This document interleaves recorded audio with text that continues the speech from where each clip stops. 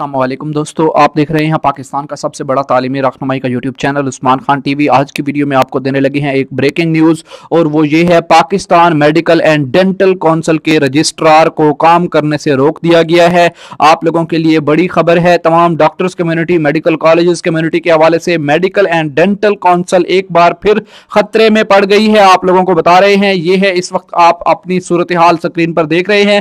پی M D سی کو بحال کرنے کے بعد اس کا ایک تو ڈپارٹمنٹ سے اس کا ریکارڈ غائب ہو چکا ہے، اس کے لیپ ٹاپس اس کا اہم ریکارڈ اس کی جو ہے وہ ڈیوائسز وغیرہ بھی غائب ہو چکی ہیں۔ اور اس کے علاوہ جو اہم چیز ہے، وہ یہ ہے سپریم کورٹ آف پاکستان میں P M D C registrar کی بحالی کے خلاف حکومت نے ایک درخواست دی تھی کہ پی ایم ڈی سی کے جو رجسٹرار ہیں، وہ غیر قانونی طور پر اب دوبارہ سے اپنی سیٹ پر موجود ہیں، ان کو ہٹایا جائے۔ تو سپریم کورٹ آف پاکستان نے یہ فیصلہ دیا ہے کہ پی ایم ڈی سی کے رجسٹرار اپنے آفس کو چھوڑ کر P M D C building سے باہر نکل جائیں۔ یعنی پی ایم ڈی سی میں اب مزید کام کرنا وہ چھوڑ دیں۔ جب تک سپریم کورٹ کا کوئی نیا فیصلہ نہیں آتا، تب تک P M D C registrar کو کام کرنے سے روک دیا گیا ہے۔ اس چیز کا ڈیفینیٹلی ایک برا اثر جائے گا۔ ان تمام طلبہ کمیونٹی پر جو میڈیکل کالجز میں داخلے کے لیے خواہش مند ہیں، جو بیٹھے ہیں ابھی داخلہ لینے کے لیے میڈیکل کالجز کے ایشوز لاہور ہائی کورٹ کے اندر جو چل رہے ہیں، اس میں P M D C registrar کو بریفنگ دی گئی تھی۔ اب اس رجسٹرار کو ہی کام کرنے سے روک دیا گیا ہے۔ اس کے علاوہ ہزاروں ڈاکٹرز کے لائسنس پینڈنگ تھے۔ وہ تمام پراسس رک گیا ہے۔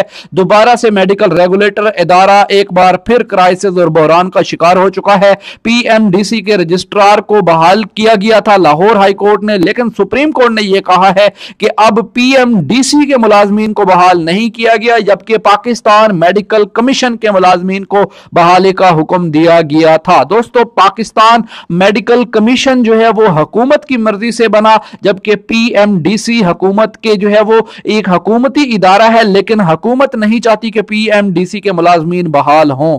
اب آپ کو یہاں پر بتا دیا جائے کہ اب حکومت زور لگا رہی ہے کہ پاکستان میڈیکل کمیشن کو دوبارہ سے لایا جائے، لیکن اس کے لیے ان کو ڈیفینیٹلی قومی اسمبلی اور سینٹ سے منظوری چاہیے ہوگی۔ اب جو ہے وہ معاملہ کشمکش کا شکار ہوتا نظر آ رہا ہے۔ Pakistan medical and dental council کے رجسٹرار کو کام کرنے سے روک دیا گیا ہے اور پی ایم ڈی سی کے رجسٹرار کو یہ احکامات جاری کیے گئے ہیں کہ آپ جو ہے وہ اگلے کسی تا حکم ثانی، کسی اور فیصلے تک آپ اپنا کوئی کام دفتر میں نہیں کریں گے۔ آپ لوگوں کو یہ بھی بتاتے چلیں کہ حکومت چاہتی ہے کہ پی ایم ڈی سی کے جو صدر ہیں پریزیڈنٹ ہیں جسٹس ریٹائرڈ شاکر اللہ جان ان کو بھی عہدے سے ہٹا دیا جائے۔ اس کے ساتھ ساتھ آپ کو یہ بتا دیا جائے کہ کسی نئے صدر کو وہ لانا چاہتی ہیں پی ایم ڈی سی کے پریزیڈنٹ کے طور پر۔ اور اس کے ساتھ ساتھ جتنا بھی سٹاف ہے، حکومت اپنی مرضی کا سٹاف لانا چاہتی ہے۔ Pakistan medical and dental council کو چلانے کے لیے وہی سٹاف جو پاکستان میڈیکل کمیشن کا تھا تاکہ private medical and dental colleges کو جو ہے وہ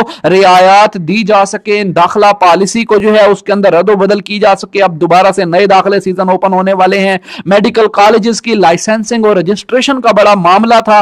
Private medical and dental colleges ایک بڑی تعداد میں پاکستان میڈیکل کمیشن نے ان کو اپروول دیا تھا۔ اب پی ایم ڈی سی ان کو ختم کرنے کے اوپر تولا ہوا تھا، اس لیے پی ایم ڈی سی کے رجسٹرار کو ہی جو ہے وہ نشانہ بنایا جا رہا ہے اور P M D C registrar کو اب کام کرنے سے رکوا دیا گیا ہے۔ اب آگے آنے والے دنوں میں کیا فیصلے ہوں گے؟ اس چیز کا انتظار رکھیے گا۔ ویڈیو کو شیئر کیجیے گا دوستوں کے ساتھ۔ آپ اس تمام معاملے کو کس نظر سے دیکھتے ہیں؟ ویڈیو کے نیچے کومنٹ سیکشن میں اپنی رائے کا اظہار کریں۔ اپنا رکھیے گا خیال۔ ملیں گے نیکسٹ ویڈیو میں۔ تب تک کے لیے اجازت۔ خدا حافظ۔